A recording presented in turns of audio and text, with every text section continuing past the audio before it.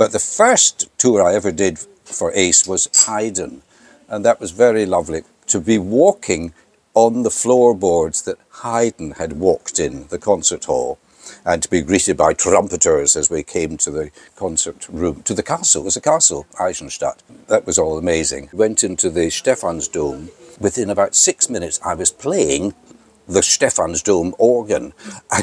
It was quite embarrassing because all the, there were about six sets of guides all taking people round the cathedral, and one of them just about swallowed her thing like an ice cream of shock when the organ suddenly played out.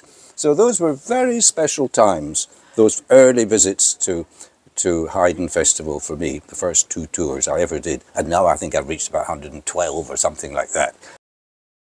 I had two grandfathers who were both amateur musicians. One played the double bass, and that eventually I used, I played that as a teenager and got into the National Youth Orchestra, which helped to get to Cambridge, I'm sure.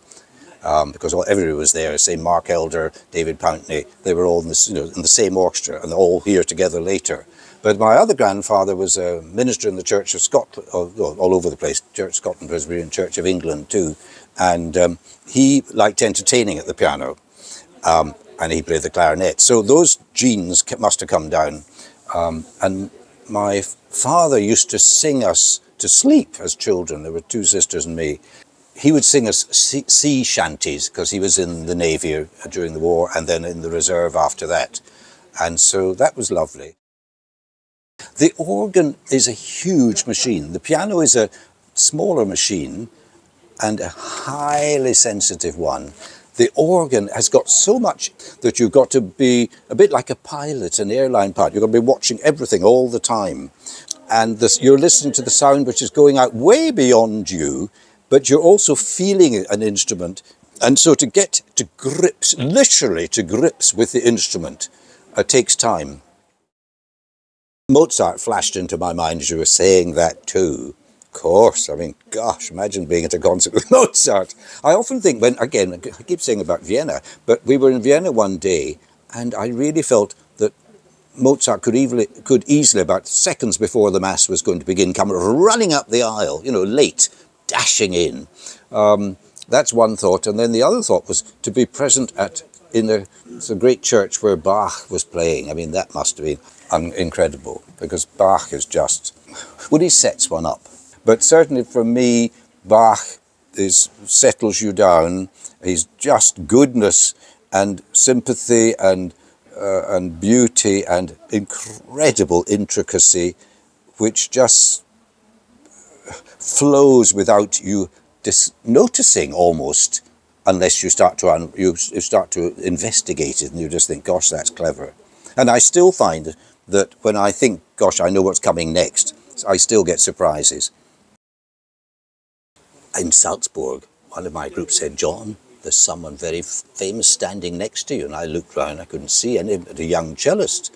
Uh, and she said, no, no, there. And it was Daniel Barenboim, whom we'd heard uh, the night before playing Mozart D minor in the uh, festival hall there with the, perhaps the Vienna Phil, it must have been. I said how much we'd enjoyed the concert. Then we both set off in uh, off the pavement, and suddenly he realised that there was still a red van up there, that the traffic was likely to come any minute, and he grabbed my arm and pulled us both back. And I said, "Oh, we mustn't die together." And he said, "Neither together nor nor nor singly." So it's a nice phrase that Daniel Barenboim saved my life.